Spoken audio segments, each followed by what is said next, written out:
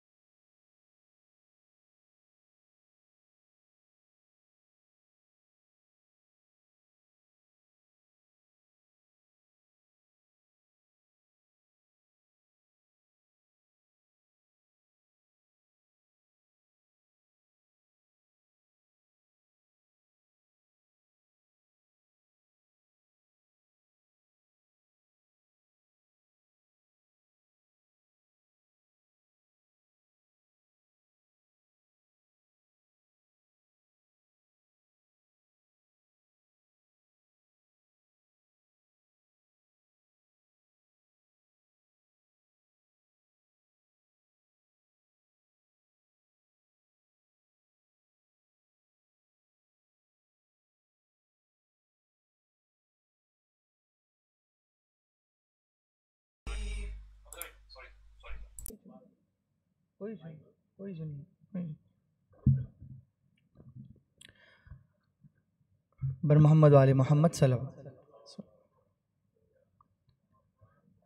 हाँ हशर बरपा है मदीने में, कयामत है करीब।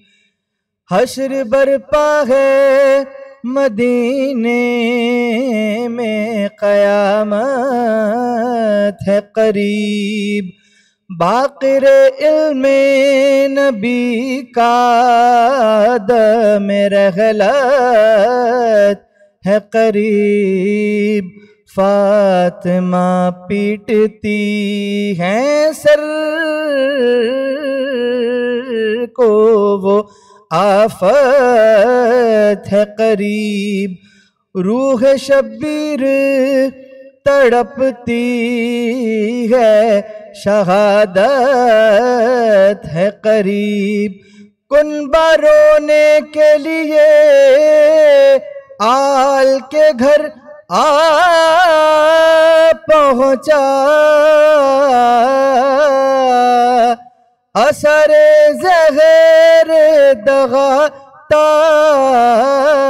बाजगर आ पहुँचा। लो ये कौन आए के रायत को दम आँखों में रुका। किसकी तस्लीम को ये हाथ उठा बाकर का। कौन ये बीबी हैं? करती हुई आई जो बुका घर में सब रोने लगे आल में कोहराम मचा। शब्बरो हैदरो, जहराओ नबी रोते हैं। अपने पोते को हुसैन ने अली रोते हैं। गुल मदीने में हुआ सिधारे बाकिर। उठ गए गुलशने हस्ती से हमारे बाकिर। बस्ताए तोको सलासिल के दुलारे बाकिर, रूह शब्बर का है नौहा, मेरे प्यारे बाकिर। जहर किस चाल से गद्दार ने भेजा, अफसोस कट गया मेरी तरह तेरा कलेजा अफसोस दफन करके जो बकिए से फिरे अहले अजा। मरकद हज़रत बाकर से उठा शोर बुका। रोए ये कह के गले मिल के शगे कर बला। मेरे असगर के भतीजे, तेरी गर्दन के फिदा। असर जुल्म गले से ये आया है अब तक। रसन जुल्म से छिलने का निशान है अब तक। हशर बरपा है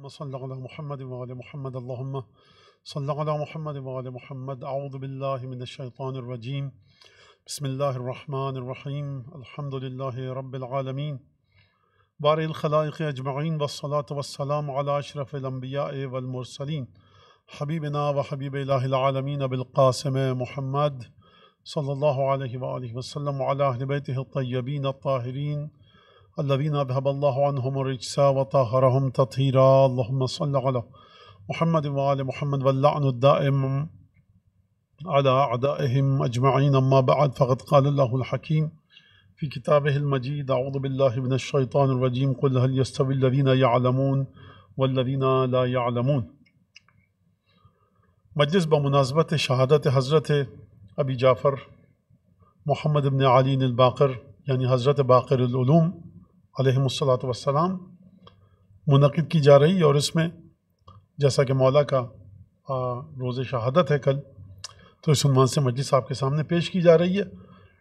बकदर वस और बकदर इस्तात वक्त के मसाइल भी उन तमाम चीज़ों को सामने रखते हुए कुछ बातें आपके सामने गोश गुजार करनी है। इर्शाद परवरदिगार है कि हल यस्तवीन यालमून वल्लवीना ला यालमून। हबीब कहो कि वो लोग जो इल्म रखते हैं, क्या उनके बराबर हो सकते हैं जो इल्म नहीं रखते? तो बात यहाँ पर इल्म की आई और हज़रत बाक़रूम के लक़ब है इमाम पंजुम का, पाँचवें इमाम का, इमाम मोहम्मद बाकर का। यानी बाकर आई बकर इल्म, यानी क्या मतलब? जिस तरह से हल चलाया जाता है और ज़मीन के छुपे हुए ख़जानों को निकाला जाता है और ज़मीन को तैयार किया जाता है, उस तरह से हज़रत बाकर इमाम बाकर ने इल्म के ख़जानों को उजागर किया, इल्म के ख़जानों को निकाला। अब यहाँ पर आकर यह कहा जाए कि इल्म के ख़जानों को निकाला, यानी जो चीज़ें भी इमाम फरमा कर चले गए फ़िक उसूल, फ़लसफ़ा, कलाम, तफसीर, हदीस और दीगर अनगिनत, बेतहाशा के बारे में, वो क्या इमाम का आखिरी इल्म था? और अब इमाम ने जो कुछ था इमाम के पास, वो इमाम ने मंबर से बयान कर दिया, शागिर्दों को बता दिया, किताबों में आ गया। तो ये बात गलत है, इमाम से हदीस मंसूब है कि अगर मुझे ये इम्कान और ये फ़ुर्सत दी जाती, ये मजाल होती मजाल अरबी के मानों में, यानी मेरे लिए ऐसा मैदान मुझे फ़राहम किया जाता। लो सुनीत वसादा, जो कि अमीर ममनी ने फरमाया, अगर मुझे मस्तद मिलती तो मैं लस्तखरश तो शराकुल्ला मिन लफ्ज़त समत पाँचवें इमाम, मैं तमाम की तमाम शरीयतों को सिर्फ़ और सिर्फ़ लफ्ज़ समत से निकाल कर बताता। तो ये एक बहुत अजीब बात है कि जो इल्म इमाम दे कर गए, उसे आज तक सर जोड़ कर जोड़ कर बैठे हैं, समझ रहे हैं, उससे मुख्तलिफ़ उमूर को निकाल रहे हैं। लेकिन उसके बावजूद उन ूम के ख़जाने ख़त्म नहीं हो रहे। मंबर से मजालस, मीलाद, महाफिल, फ़िक, उसूल का दर्स, तमाम की तमाम चीज़ें, फ़लसफ़ा, कलाम, तफसीर, एक से बढ़कर एक शेख तूसी और अल्लामा हिल्ली से लेकर आज तक। लेकिन उसके बावजूद ये इल्म मौजूद है और इस इल्म का रस, इस इल्म का इत्र और इस इल्म का शरबत अभी तक इसमें से निकल कर कशीद किया जा रहा है। तो आप ये बताइए कि अगर मुझे मौका दिया जाता तो मैं लफ्ज़ समझ से पूरी की पूरी शरीयतों को निकाल कर बताता, ये एक बड़ी अजीब बात है। एक बात जो, दूसरी बात ये कि हम जब इमाम बाकर इस्लाम की बात करते हैं तो शीयों के पाँचवें इमाम, नहीं, हम रसूल खुदा के, हम रसूल खुदा के पोते के पोते की बात कर रहे हैं, अहल बैत की बात कर रहे हैं। और फिर यहाँ पर तलहा शाफई, अजीब जुम, अजीब लोग हैं जिनकी एक फहरिस्त है, अल्लामा गंजी, हाफिज इब्न हजर इन जैसी हस्तियाँ लिख रही हैं इमाम मोहम्मद बाकर के बारे में। रावियान हदीस किस तरह से लिख रहे हैं? तो ये एक चीज़। इसके अलावा रसूल खुदा सल्लल्लाहु अलैहि वसल्लम जो जो सलाम पहुँचाया इमाम बाकर को, वो एक बड़ा अजीब वाक़ है कि जाबिर से कहा कि सत सतब का ए जाबिर तुम ज़िंदा रहोगे, यहाँ तक के तल का वलदी, मेरे बेटे से मुलाकात करोगे उसका नाम मेरे नाम की तरह मोहम्मद और उसका लकब है बाकर। जब उससे मिलो तो उसे सलाम कहना। जनाब जाबिर गए, देखा रिवायात के मुख्तलिफ़ अल्फाज हैं। जिस रिवायत को मैं पेश कर रहा हूँ वो ये है कि, या ग़ुलाम अकबिल, बेटा ज़रा पास आओ, सामने आओ, आए। का अकबिर, बेटा ज़रा पीछे जाओ, पीछे गए। का शमाइल शमाइल रसूल बिल्कुल रसूल खुदा के शमाइल हैं। कहा, नाम क्या है? कहा, ये, वालिद कौन? ये, तमाम की तमाम गुफ्तु और एक दफ़ा जब कहा तो एक दफ़ा पैरों को चूमा जनाब जाबिर इबन अब्दुल्ला अंसारी ने, कदमों को चूमा। तो ये अच्छा। अब रसूल खुदा ने सलाम कहलवाया, वो क्या कहकर कहलवा, कहलवाया? अल बाकिर यानी इसकी एक अहमियत है कि इल्म को इस तरह से निकालेगा। इमाम मोहम्मद बाकर, विलादत कब हुई? शहादत कब हुई? किस दौर में हुई? वालदा गिरामी, सब आपके सामने पेश करना है और याद रखिए कि सत्तावन हिजरी में पैदा हुए। सत्तावन बरस की उम्र पाई लिहाजा एक चीज़ याद रख लीजिए, बकिया मसला हल है। तो सत्तावन हिजरी में पैदा हुए करबला के वाक़े के वक्त आपकी उम्र कितनी थी? तीन बरस की। सत्तावन बरस की उम्र पाई, एक सौ चौदह हिजरी में शहादत हुई। एक सौ चौदह हिजरी में शहादत हुई, वालदा का नाम उम अब्दुल्ला, इमाम हसन की बेटी। जब कहा जाता है इमाम हसन की दुख्तर हैं तो हमारे पास ये रवि, ये रिवायत मौजूद है कि लम तुदरक फ़ी आल हसन मिसलहा। यानी इमाम सज्जाद ने किससे निकाह किया है? अपनी चचाजाद बहन से। इमाम मोहम्मद बाकर उनके बतन मुताहर से दुनिया में तशरीफ़ लाएँ। लम तुदरक फ़ी आल हसन मिसलहा, कि आल हसन में इस तरह की कोई शख्सियत नहीं पाई जाती।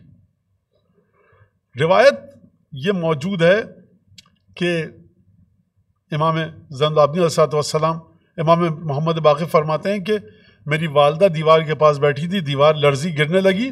फ़तसदा दीवार लर्जी तो मेरी वालदा ने इशारा किया और कहा कि बेहक़ लम यासन लकफ़ सकूत हक़ मुस्तफ़ा की कसम रसूल खुदा के हक़ की कसम तुझे अभी गिरने की इजाज़त नहीं दी गई है उठ के गई उसके बाद दीवार गिरी इमाम जैनाब्दीन को इल्म हुआ तो आपने कई सौ दीनार सदक़े में दिए तो ये बात हमेशा मैं ये वाक़ पढ़ पढ़ता हूँ और हर जगह पढ़ा जाता है रसूल खुदा ने सलाम पहुँचाया फिर जब रसूल खुदा का सलाम पहुँचाया, कदमों को चूमा, कहा कि आपके जद रसूल खुदा ने मुझे सलाम पहुँचाने को कहा है, आपका। अब यहाँ पर ये सवाल आता है कि रसूल खुदा हैं। इमाम हुसैन से कह देते कि तुम अपने बेटे से वसीयत करना कि वो मोहम्मद बाकर को मेरा सलाम पहुँचाए। ये गैर से वसीयत करने की क्या ज़रूरत? इसका मतलब ये है, एक सादी सी बात, सीधी सी बात कि घर वाला कोई कहेगा तो लोगों, लोग नफरत में मुबतला है, बुग्ज है, कीना है। बाहर वाले से कहलवाया कि सहाबी रसूल भी इस बात का गवाह है कि रसूल खुदा ने मुझसे सलाम कहलवाया। भाई, तुमने कहा मोहम्मद बाकर ऐसे तुम्हारे तो बेटे हैं, तुम्हारे भतीजे हैं। जाबिर इबन अब्दुल्ला अंसारी, आखिरी सहाबी हैं कि जो ज़िंदा बचे। वो ये गवाही दे रहे हैं, इसका मतलब है कि रसूल खुदा के इल्म में ये बात है और रसूल खुदा ने मुझसे कहा कि तुम तक ये वाक़ ये सलाम पहुँचाऊँ। जब जाबिर ने सलाम पहुँचाया, इमाम मोहम्मद बाकर की आँखों में आँसू आ गए, कहा कि तुम पर सलाम हो, बेमा बल्लख था। क्योंकि तुमने मेरे जद का सलाम पहुँचाया। वह अला जद्दी रसूल असलाम और मेरे नाना, मेरे दादा, रसूल खुदा पर सलाम हो। मादामत समावत वल अर्ज़। जब तक खुदा की खुदाई का सिलसिला चल रहा है, उस वक्त तक सलाम हो। तो एक बच्चा, इमाम मोहम्मद वाक़, इस तरह से रसूल खुदा पर सलाम भेज रहे हैं। हदीस लौ का वाक़ वो तमाम की तमाम बातें। लेकिन मुझे ज़रा सा एक बच्चों के लिए एक बात करनी है। सत्तावन हिजरी। विलादत।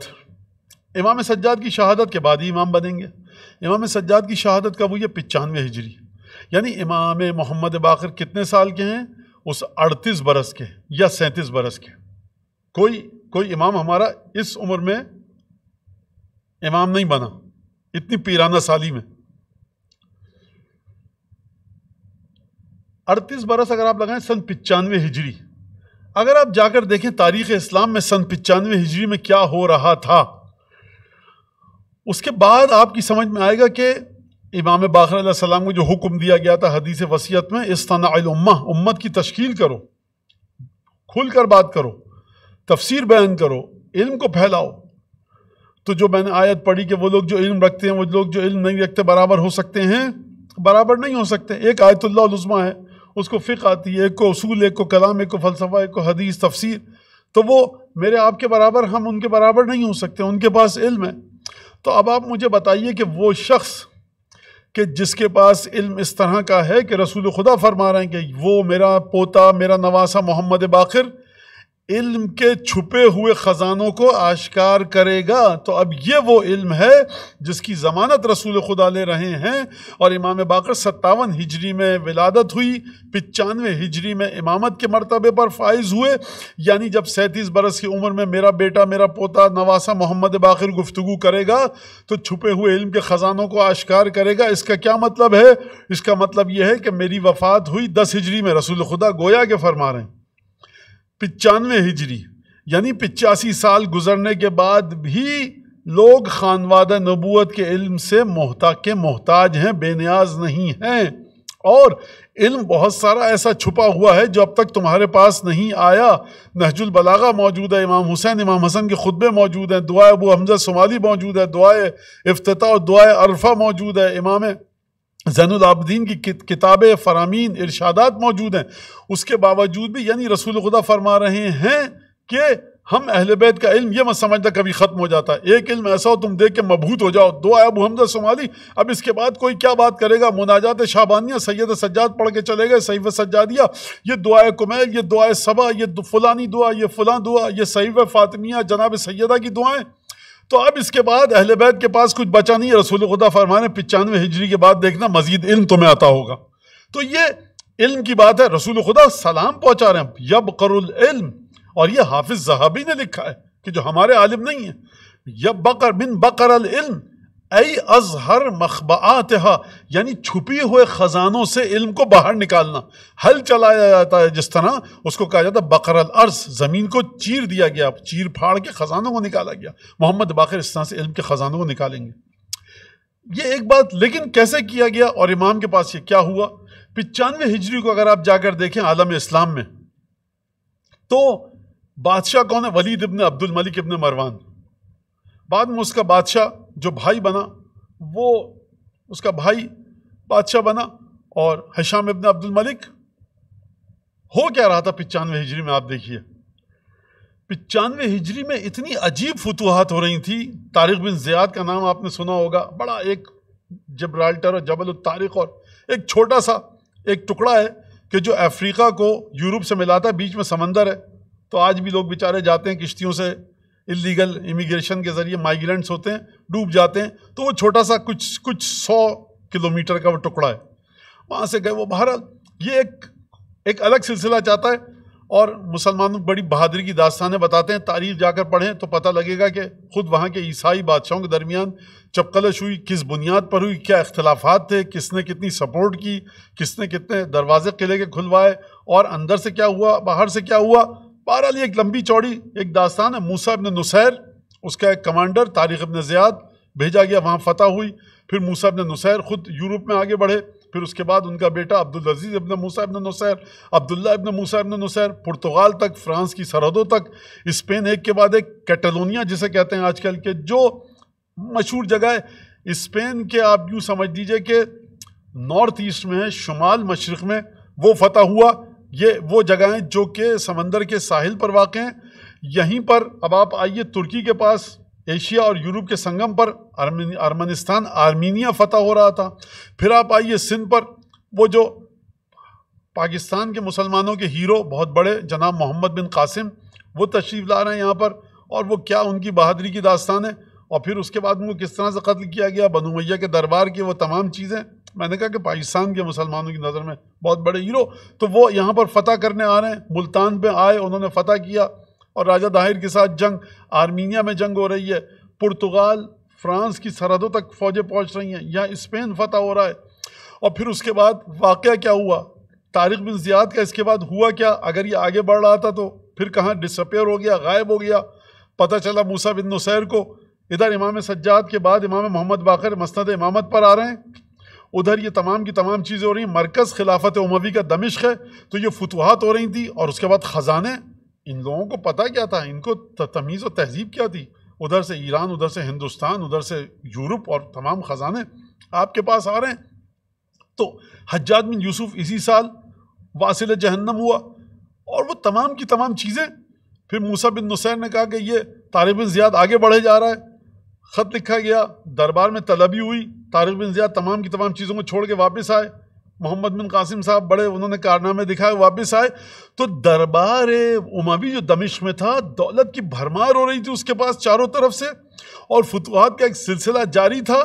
यहाँ पर दौलत खुद अपनी हुकूमत खुद अपनी फतवाहत में लगी हुई थी। अब तारीखी हवाले से लगता है कि इमाम को थोड़ा सुकून का सांस लेना नसीब हुआ।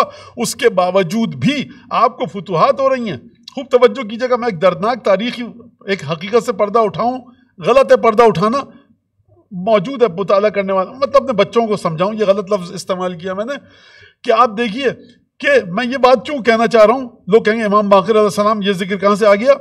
मूसा बिन नुसैर ने ख़त लिखा, बुलाया गया दरबार में तारिक बिन ज़ियाद को और तमाम लोगों को कि तुम वापस आ जाओ। मर्रखीन कहते हैं, मूसा बिन नुसैर को हसद हुआ कि तमाम फतूहत, ये मेरा कमांडर है, मैं यहाँ का वाली हूँ अफ्रीका का। मैंने उसको भेजा, तमाम की तमाम तारीखी फतूहत, इसके नाम तो ख़त लिखा कि सरकार आप इसको बुला लीजिए। फिर उनको भी बुलाया गया, मूसा बिन नुसैर को भी बुलाया गया, और उसके बाद उसके बेटे जो फतूहत कर रहे थे, उन्होंने लोग कहते हैं, ईसाई हो गए, क्या हुआ? फिर खलीफा के को दोबारा शिकायत की गई।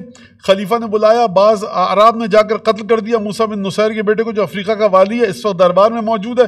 उसके बेटे अब्दुल अज़ीज़ इबन मूसा इबन नुसैर का ख़त आया सर कलम करके थैली में भेजा गया, एक थैले में जम्बील में, दरबार में खोला गया। खलीफा ने पूछा, वलीद इबन अब्दुल मलिक ने, ये किसका सर है? बाप से पूछा जा रहा है। बेटे ने कहा कि, ये लाजमी का बाप ने इजहार किया, बड़ी हिम्मत के साथ। आपके खिलाफ साजिशें कौन कर रहा है? दरबार उमावी के खिलाफ आपके लोग। आप किसके पीछे पड़े? मोहम्मद बाकर के ख़ानदान बनी अब्दुल के। जिनका दावा यह कि हमें हुकूमत से कुछ नहीं लेना देना, हमें सियासत से कोई काम नहीं है। वो बेचारा काला रसूलुल्लाह काला रसूलुल्लाह फरमा रहे हैं। वो कुरान, हदीस, तफसीर फ़िक तमाम की तमाम बातें कर रहा है। गद्दारी आपको अपने लोगों से डर है। रिवायत में मौरखी ने लिखा है कि जब तारिक बिन ज़ियाद तमाम की तमाम वो लूट कर जो ख़जाने लाया था स्पेन के वो जो हमारे डॉक्टर इकबाल ने भी कहा है कि बड़े पता नहीं अजमत रफ्ता, वो क्या मुसलमानों की ना जाने इनको अजमत रफ्ता नज़र आई? मेरी समझ से बाला तर है। बहरहाल, उनको दिखी होगी कोई अजमत रफ्ता वहाँ पर। मैं मैं क्या बात जानूँ? तो रोका गया, क्योंकि वलीद बीमार था। भाई ने कहा कि इतना देर रुको ताकि मर जाए मेरा भाई। जब काफिला एंटर हो तो ये फतुआत मेरे ज़माने में लिखी जाए। बहरहाल, ये तमाम के तमाम वाक़ात सुनाने का मकसद ये है कि खुद दरबार उमवी के अंदर जहाँ कोई आगे बढ़ रहा है, उसको वापस बुलाया जा रहा है। वो आप ही का इंसान है, आप ही का आदमी है, आप ही का नुमाइंदा है, लेकिन आप डर रहे हैं, घबरा रहे हैं किससे? बनु हाशिम से। और फिर जब बादशाह रूम ने यह कहा कि मैं तुम्हारे सिक्के को डिवैल्यू कर दूँगा और मैं कहूँगा जिस सिक्के पर यह निशानी हो, वो ले। और एक दफ़ा बादशाह परेशान हुआ कि हम करें तो क्या करें? कि ये हमारे सिक्के सारे, हमारी करेंसी ज़ीरो हो जाएगी। इमाम मोहम्मद बाखिर से हल पूछा गया, जो आपको सोल्यूशन दे रहा है आपके सिक्के को डिवैल्यू होने से बचाने का, उसके बावजूद आप उसको दरबार दमिश में बुलवा रहे हैं और कैद में रख रहे हैं और कह रहे हैं, जिस जगह से गुजरे, इनको खाना मत बेचना। अजीब सिलसिला है ये। खंजर आपके कमांडर घोप रहा है, आपकी आपकी पुश्त में। हजाज में यूसुफ मोहम्मद बिन कासिम को कत्ल कर रहा है, मूसा बिन नुसैर साजिश कर रहा है, तारिक बिन जियाद के खिलाफ। वो तमाम की तमाम चीज़ें जो मौरखीन ने लिखी हैं, गलत या सही, अब रसूल खुदा की हदीस तो है नहीं। कुरान की आयत के मैं उसको सही मान लूँ, जो तारीख में बिखरी पड़ी हैं चीज़ें। लेकिन आप उधर तवज्जो दे रहे हैं, जिस हद तक आपकी हुकूमत बचे, लेकिन आप इनको, इन पर जुल्म सितम का एक अजीब पहाड़ तोड़ रहे हैं, ताबड़तोड़। तो ये पिचानवे हिजरी अभी इमाम मोहम्मद बाकर क्या इमाम बने। अच्छा अब यहाँ पर आपको आज़ाद मिलता है, आज़ादी के साथ, जहाँ पे तमाम की तमाम चीज़ें ख़त्म हुई आठ दस साल में, एक सौ चौदह हिजरी। अभी चौदह पंद्रह साल बाकी हैं, अब इमाम को बुलाया जा रहा है दमिश में। ये एक शख्स क्या कर लेगा?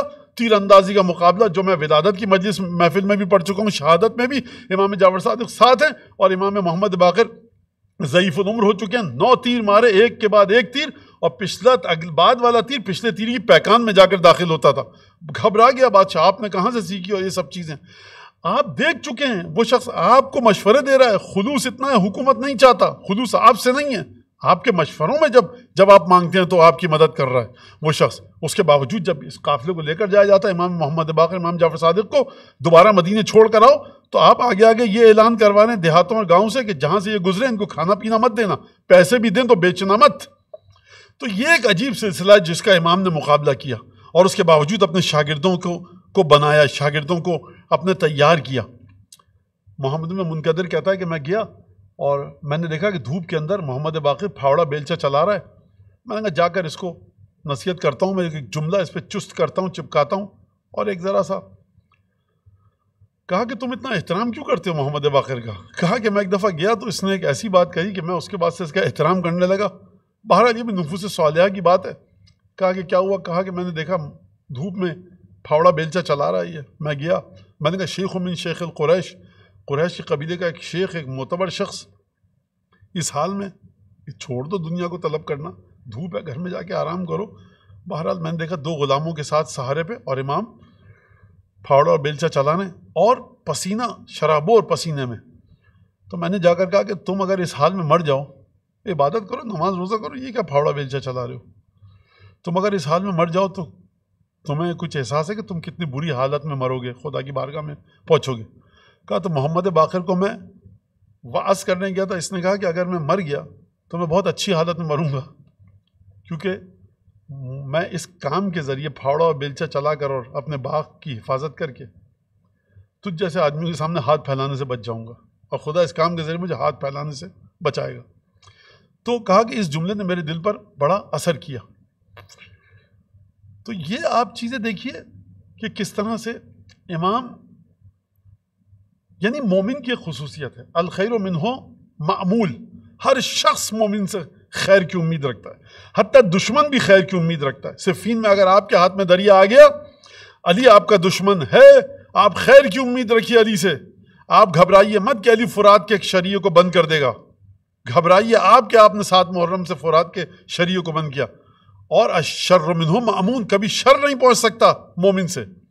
तो खैर और शर के सिलसिले में मोमिन हमेशा हमेशा सरफराज और कामयाब रहता है। दुश्मन को भी शर नहीं पहुंचाता, दुश्मन को भी खैर पहुंचाता है। आपका सिक्का डी वैल्यू हो रहा है। इमाम मोहम्मद बाकर आपकी मदद करेंगे। आपके खिलाफ साजिशें कर रहा है कैसर रूम। किस तरह से बचे? आपने एक दफ़ा मदद के लिए दस्ते सवाल दराज किया इमाम बाकर की बारगाह में, इमाम बाकर आपकी मदद करेंगे। कुछ भी आप मसला पूछने जाएँगे, इमाम मदद करेंगे। अली इबन अभी तालिब मदीने में है, आपके सामने कोई फ़िकी मसला आया, कोई सियासी मसला आया, कोई फ़ौज और अस्करियत से मुतल मसला आया, अली इबन अभी तालिब आपकी मदद करेंगे। इख्तलाफ होना अलग है, स्कूल ऑफ़ थाट 180 डिग्री बिल्कुल मुख्तलिफ़ है, सोच आपसे नहीं मिलती। आपके रहन सहन, तर्ज तफक्र तर्ज ज़िंदगी को, आदाब, अतवार, आदात को हम नहीं मानते। अब जो आप आए आप हमसे मशवरा लेने आए तो हम आपको सही मशवरा देंगे, क्योंकि हम हैं मोमिन, बल्कि हम मोमिन के हम कुल ईमान है। मोमिन की सिफत यह है कि उससे हमेशा खैर की उम्मीद रखो। तो तमाम के तमाम आइम्मा ने हमेशा खैर और भलाई पहुंचाई हती अपने दुश्मन को। तलवार खींचकर सामने आना, बातों को ना मानना, अकीदे को गलत साबित करना अलग है। और जब आप हमसे मशवरा ले रहे हैं, मदद मांग रहे हैं किसी मुश्किल से निकलने के लिए तो हम आपकी मदद करेंगे। ये अगर लोग अहल बैत की ज़िंदगी में देख लेते तो कभी अहल बैत के खिलाफ साजिशें ना करते, आइम्मा को शहीद ना करवाते। आपका कमांडर, आपका गवर्नर, आपका वाली जो अफ्रीका का है, जो जबराल्टर में जबल तारीख में वो काम कर रहा है, उनके दरमियान साजिशें चल रही हैं। वो एक दूसरे के साथ लूट खसूट मची हुई है। आप उसको नहीं देख रहे। आप उसको जो मदीने में अपने नाना के घर में खामोशी से बैठकर दरस व तदरीस में मशगूल है, आप उसकी अजियत और आज़ार के दर पर हैं। कभी शाम बुला रहे हैं, कभी कैद कर रहे हैं, कभी कोई काम कर रहे हैं। तो ये एक अजीब बात है। हती के गवाही दे रहा है नबी का साहबी जाबिर अब्दुल्ला अंसारी। आपको रसूल खुदा ने सलाम पहुँचाया है। और किस तरह से मदीने के लोग एहतराम कर रहे हैं इमाम मोहम्मद बाकर का। खुद इमाम मोहम्मद बाकर की ज़िंदगी। तो ये तमाम की तमाम चीज़ें और फिर उसके बाद आपने शागिर्दों की तरबियत की, किस तरह से शागिर्दों की तरबियत की? ये शागिर्द आए इमाम जाफ़र सादिक के वरसे में, फिर इमाम सादिक के बाद इमाम मूसा काजिम और इमाम अली रज़ा तक ये शागिर्द आए बाज़ शागिर्द आए इमाम मोहम्मद तकी सलाम के ज़माने तक। तो इस तरह से इमाम मोहम्मद बाकर सलाम ने इल्म को निकाल कर उजागर किया और आप जाकर हाँ कुतुब अरमा में देखें तो कितनी ढेरों अहादीस हैं जो इमाम मोहम्मद बाकर की ज़बान मुबारक से सादिर हुई हैं। और देखिए, एक सही कॉन्सेप्ट देना। वाक़ अबू बसीर आए। नाबीना साहबी हैं।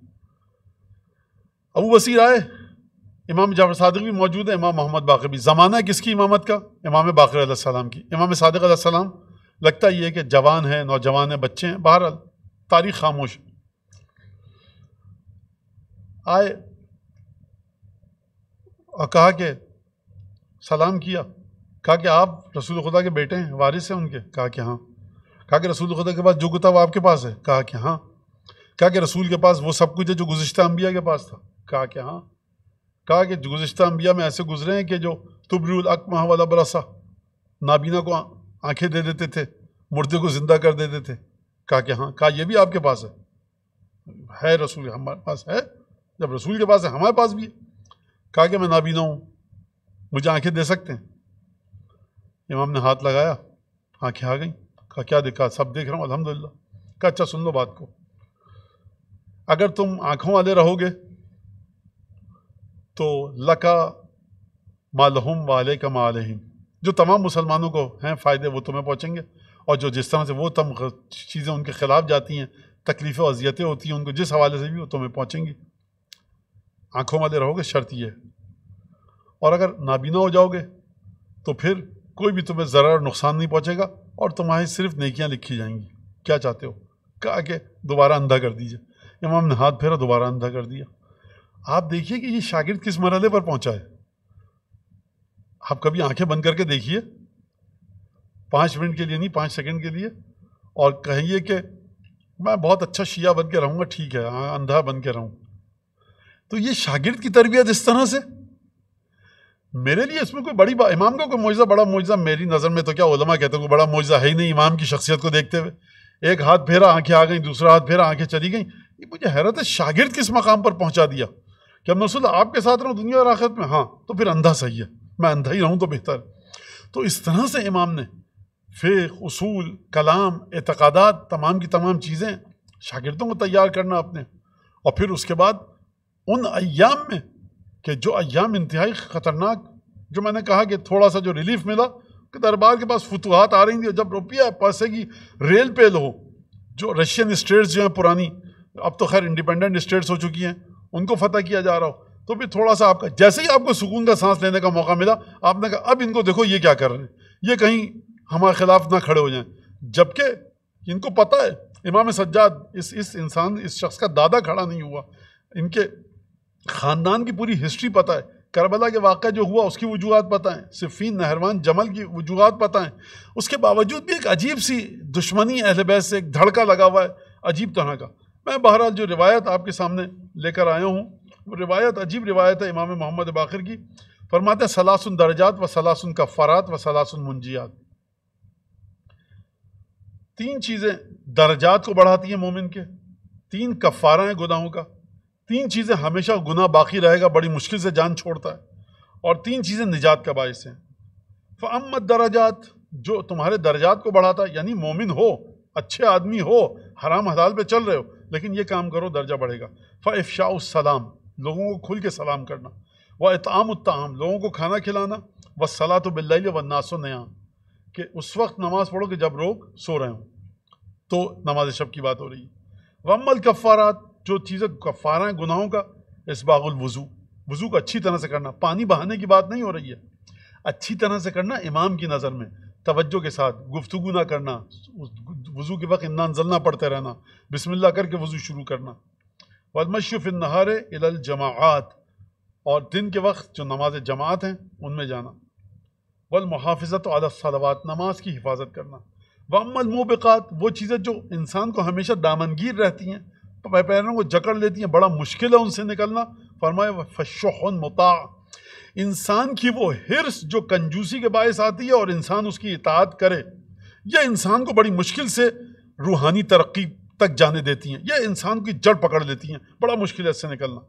वह हवन मुतबा वो हवा और हविस जिसकी पैरवी की जाए, वह अजाबुलमर ए बेनफ से इंसान का अपने आप को सबसे अच्छा समझना। मुझसे अच्छी तकरीर तो कोई कर ही नहीं सकता, मुझसे अच्छा नोहा पढ़ ही नहीं सकता, मुझसे अच्छा कोई फ़र्ज़ के डॉक्टर शहर में है ही नहीं। मैं जैसा काम करता हूँ, कोई नहीं करता। कहाँ कोई मेरे बराबर पहुँच सकता ये सब बकिया भेड़ चाल है, सबसे अच्छा मैं हूँ। एजाबुल मर ए बेनफ से। ये क्या है? इंसान की, के पैरों को पकड़ लेती हैं, उसको परवाज नहीं करने देती। अमल मुंजियात जो निजात देती हैं चीज़ें फ़खौफ़ल्ला फ़िसर वल आनानिया अकेले हो या लोगों के दरमियान, अल्लाह से डरते रहो। वलकस्द फ़िलगना वलफ़क्र चाहे फ़कीर हो, चाहे पैसे वाले। म्याना रवि के साथ चलो। वकलमतुलअदल फिर रज़ा व सख्त व सख्त, या सुख्त। वो कलमा जुमला कहना जो जिससे खुदा राज़ी रहे, तुम खुश मिजाजी की हालत में हो, जो मुँह में आया बोल रहे गुस्से में हो, जो मुँह में आया बोल दिया। नहीं, खुश हो तब भी, और गुस्से में हो, गजबनाक हो तब भी। जुमला वो कहो कि जो खुदा को राज़ी हो। हमने उलमा को देखा है, सीख तो नहीं पाए, लेकिन उलमा को अजीब बात देखी है। शदीद गुस्सा आता है जब, शदीद गुस्सा। क्या कहें? ला अब ये वो कलमा है, आप क्या कहेंगे? अस्तगफिरुल्लाह। या अली मतलब ये हमने, ये चार पाँच। अब आप क्या कहेंगे? गुस्सा आ रहा है शदीद, लेकिन आपने कह दिया। ला कुत बिल्ला खुदा की लाना तो फ़र्ज़ कीजिए शैतान पर। खुदा की लाना तो इबलीस पर, इबलीस की औलादों पर, जब तक तसलसल रहे। तो इस तरह का हमने कहते सुना है, खुदा की लाना तो शैतान पर। तो ये क्या है? गुस्सा कुछ आपको कहना है? ज़बान हिलनी है, ज़बान ज़रा सी वैसे हिल जाए तो वो लफ्ज़ आ जाएगा, रखी के गली से घिनौना है, फोहश लफ्ज़ है। ज़बान ऐसे हिल जाए, हलक से वोकल जो आपके स्ट्रिंग्स हैं, जो वोकल पाइप कहेंगे, क्या कहेंगे उसको? उससे आपके एयर तो निकल रही है, ज़बान तो हिल रही है, ज़रा सी वैसे हो जाए तो गुना है, गलत है, ऐसे हो जाए तो सवाब है। तो ये इमाम ने सिखाया, हमने देखा, ये इमाम मोहम्मद बाकर सलाम और हदीस तमाम की तमाम चीज़ें और इमाम बाकर सलाम की खसूसियत एक ये भी है कि इमाम मोहम्मद बाकर करबला के ज़ाहरी लिहाज से ऐनी गवाह हैं। और एक और चीज़ जो इमाम से हमें समझ में आती है, जो आजकल के ममनिन के लिए जवाब है कि सात सौ दिरहम या सात सौ दीनार। इमाम ने वक्फ किए। कहा कि, बेटा जाफ़र सादिक, ये मेरे लिए पैसे वक्फ हैं कि हज के अयाम में मेरे मसाइब का ज़िक्र करना। इसका क्या इस, ये बड़ी अजीब बात है कि मसाइब का मेरे ज़िक्र हो। अब लोगों के सामने सवाल आएँगे, इमाम को क्या ज़रूरत? मैं सवाल का जवाब इस वक्त देने का वक्त नहीं, फिर कभी इंशाल्लाह। तो आप ये देखिए। और जो रिवायतें और इमाम मोहम्मद बाकर, मैं एक बात आपकी खिदमत में अर्ज़ करूँ कि देखिए, बहुत बड़ी पेचीदा बात नहीं है, लेकिन पेचीदा बात है। एक है कि ऐनन व हिस्सन, ज़ाहरी लिहाज से मंजर को देखना। एक है इल्म इमामत की बुनियाद पर देखना। इमाम की ज़ात में इनमें भी फ़र्क है कि इल्म इमामत की बुनियाद पर एक चीज़ का इल्म रखें और ज़ाहरी लिहाज से देखें। इमाम मोहम्मद बाकर, इमाम जाफ़र साहब दोनों से ही रिवायत नकल है कि जब हम मदीने में जाते हैं और हमारी निगाह मुस्लिम इबन अकील के पोतों और नवासों के घरों पर पड़ती है तो हमारी आँखों में आँसू आ जाते हैं। मुस्लिम इबन अकील, इमाम मोहम्मद बाकर एक दफ़ा मदीने में बच्चे खेल रहे थे और ये ये तो इमाम है। मैंने आम मोमिन के अंदर ये हालत देखी है और मैंने आम मोमिन मोमनात में अल्हम्दुलिल्लाह खुदा वाक़ फ़ारसी में कहते हैं शीर पाक खोरदान के तैयब ताहिर शीर मादर पिया इन्होंने, इनके नुतफ़े पाक थे कि जिस तरह से ये वाक़ देखते हैं, आम, वो तो इमाम मासूम। वाक़ क्या बताता हूँ। मदीने में बच्चे भाग रहे हैं। बच्चे बच्चियाँ खेल रहे थे। एक बच्चा पकड़ रहा है, सब बच्चे भाग रहे हैं। क्या? इमाम ने देखा, इमाम की आँखों में एक दफ़ा आँसू आ गए और आँखों से आँसू टपकने लगे गोया के। राबी ने पूछा अब नसूल्ला कोई आपकी बात को दिल को आपके बात रंजीदा गुजरी? कहा कि, नहीं, मुझे जिस तरह से बच्चे भाग रहे हैं ना, जब हमारे शाम गरीबा में खेमों को जलाया गया था ना तो उस वक्त जो हम, जो इमाम बाकी तीन बरस के हैं जो इमाम हुसैन के बच्चे और पोते, जिसमें खुद इमाम शामिल हैं। हम जब भागे थे ना तो इसी तरह से। मुझे वो मंज़र याद आ गया। मैं इसमें चार जुमले इजाफे कर दूँ अपनी तरफ़ से, हाथों को जोड़ के मैं कहूँगा अः इमाम बाकर, ये तो आपने बच्चों के बारे में बताया। जो हम हमशीरागान, ख्वाहरान, रसूल खुदा की बेटियाँ और बहुएँ, जिस तरह से अपनी चादर और जान को बचा कर भागी, ये इमाम के दिल पर एक जख्म है। पूरा ज़िंदगी इमाम ने इन तकलीफ़ों के साथ गुजारी। फरमाते हैं, जब मुझे इमाम हुसैन के आल औलाद मेरे अपने भाई और बहनें नज़र आते हैं, मुझे वाक़ याद आता है। इमाम, न सिर्फ़ इमाम सज्जाद, इमाम मोहम्मद बाकर गिरिया कर रहे हैं, इमाम सज्जाद गिरिया कर रहे हैं। अजीब तरह से ज़िंदगी गुजारी। बहरहाल, अलक़स्सा मुख्तसर ये कि इमाम को जहर दिया गया और जहर देने के बाद इमाम की हालत मुतगैर हुई और हालत मुतगैर होने के बाद एक दफ़ा इमाम बिस्तर शहादत से जा लगे। इमाम मोहम्मद बाकर सलाम बिस्तर शहादत पर मसमूम होकर, जहर आलूद होकर दुनिया से तशरीफ़ ले गए। इमाम जाफ़र सदक वसलाम ने जनाब फ़ातमा बिनते असद, इमाम हुसैन आसमाम और इमाम सज्जाद इमाम हसन आसमाम जहाँ पढ़ते वहाँ इमाम बाकर को जन्नतुलबकी में आम अरबा राबमा इमाम मोहम्मद बाखिर आपको सुपुर्द खाक किया गया। रोज़ा मुनवर कब्र मतहर वहाँ करार पाई। इमाम जाफ़र सदक ने नमाज़ पढ़ाई। इमाम जाफ़र सदक ने कफन दिया। बड़े एहतराम के साथ रसूल खुदा का फ़र्जंद है। लेकिन मैं इमाम बाकर की खिदमत में अर्ज़ करूँगा, यबना रसूलुल्लाह, एक रिवायत जो आपने ख़ुद नकल फरमाई कि आपने पूछा इमाम बाकर ने, बाबा इमाम सज्जाद से कि बाबा ये बताइए कि जब हमको करबला से कोफे लेकर चले तो उसकी तफसील बताइए। इमाम सज्जाद सलाम ने बताया कि बेटा जब हमको लेकर चले तो सबसे पहले सर थे फिर मर्द थे कुछ, फिर उसके बाद ख़वातीन थीं। और जब भी हम में से किसी की आँख से आँसू निकलता था, अपने शहदा के सरों को देखकर, ये जालिम हमारे सरों पर अपने नेज़े की नोक चुबाते थे। मैं कहूँगा इमाम बाकर, तसल्ली का अजब अंदाज है, जिसके घर के लोग रुखसत हो गए हों, जिसके घर के शहदा के जनाजे सामने हों, उसको गले लगाया जाता है, बच्चों के सर पर हाथ रखा जाता है, ख़वातीन आकर तसल्ली देती हैं। लेकिन अजीब तसल्ली दी गई इमाम बाकर को और इमाम सज्जाद को कि सर मुबारक पर नेज़े की नोक नोक लगाई गई। किस तरह से इस दर्द को इंसान बयान करे? इमाम मोहम्मद बाकर इस दर्द को अपने साथ लेकर चले गए।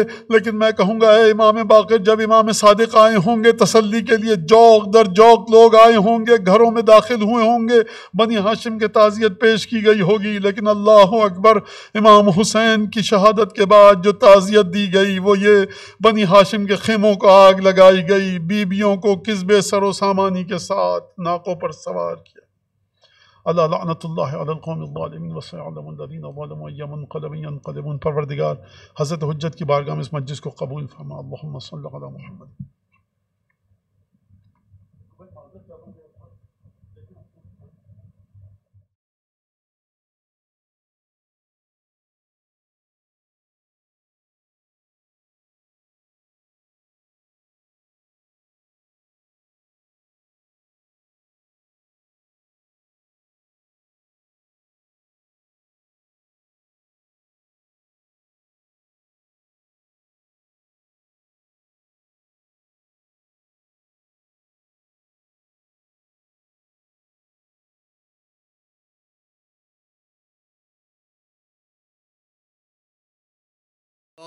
आकर काज उठा। यस रब में है जनाजा, पाकर काज उठा। यसरब में है जनाजा बाकर काज उठा। बादल यतीमी का है बादल यतीमी का है। जाफ़र के सर पे छाया, बाकर काज उठा। यसरब में है जनाजा, बाकर काज उठा। यसरब में है जनाजा, बाकर काज उठा। लेकर चले हैं जख्म दिल में लीगे बहातर, लेकर चले हैं जख्म। दिल में लीगे बहातर, देखा है कम सिनी में, देखा है कम सिनी में, मंजर जो करबला का, बाकर काज उठा। यसरब में है जनाजा बाकर काज उठा। यस रब में है जनाजा बाकर काज उठा। करते थे याद रोकर, असगर की माँ को बाकर करते थे याद रोकर असगर की माँ को बाकर करबल के बाद पाया करबल के बाद पाया, पानी न कोई साया बाकर काज उठा, यस रब में है जनाजा बाकर काज उठा। यसरब में है जनाजा बाकर काज उठा। लम्हा था हशर का वो, जब बाप और बेटा। लम्हा था हशर का वो, जब बाप और बेटा। मिलकर बना रहे थे। मिलकर बना रहे थे है तुरबत सकीना। बाकर काज उठा यस रब में है जनाजा। पाकर काज उठा यस रब में है जनाजा। पाकर काज उठा। एक पल्ला चैन पाया बाकर ने ज़िंदगी में एक पल्ला चैन पाया बाकर ने ज़िंदगी में चालीस साल बाबा, चालीस साल बाबा को खून रोते देखा। बाकर काज उठा। यसरब में है जनाजा, बाकर काज उठा। यसरब में है जनाजा, बाकर काज उठा। मौला मिला है तुमको, ताबूत भी, कफन भी। मौला मिला है तुमको, ताबूत भी, कफन भी। बेगुसल, बेकफन था। बेगुसल, बेकफन था। मकतल में शह कलाशा, बाकर काज उठा यसरब में है जनाजा बाकर काज उठा। यस रब में है जनाजा बाकर काज उठा। बादल यतीमी का है, बादल यतीमी का है, जाफ़र के सर पे छाया। बाकर काज उठा। यसरब में है जनाजा, पाकर काज उठा। यस रब में है जनाजा, पाकर काज उठा। यस रब में है जनाजा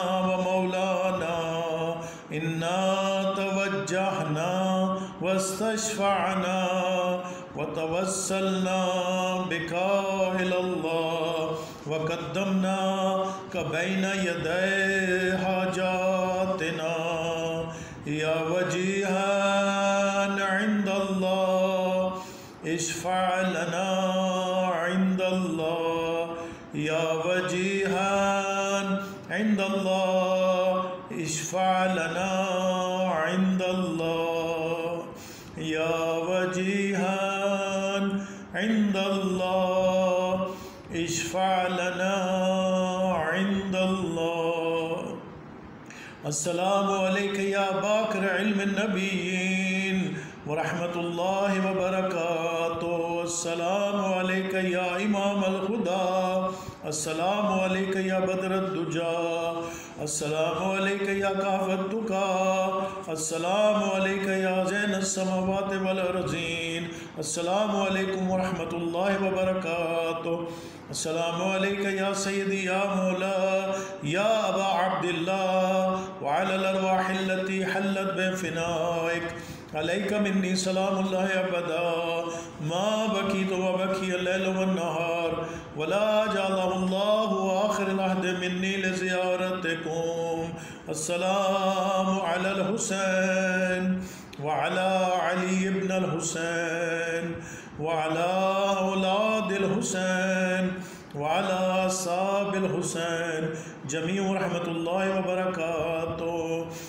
असलम या मौलाया या गरीब अलगरबा या अबल हसन या अली अबन मूसा रजा वरहमतुल्ला वबरक असलम या सैदी या मौलाया या साहिब असमान असलम या शरीक अलकुरान असलम या इमाम वलजान इंस वल जान अजल्लाह ताला फरजक वसाल्लाह ताला मखरजक व ज़हूरक व रहमतुल्लाहि व बरकातुहु अल्लाहुम्मा कुन लिवलियकल हुज्जत इब्न अल हसन सलवातुका अलैहि व अला आबाए फ़ी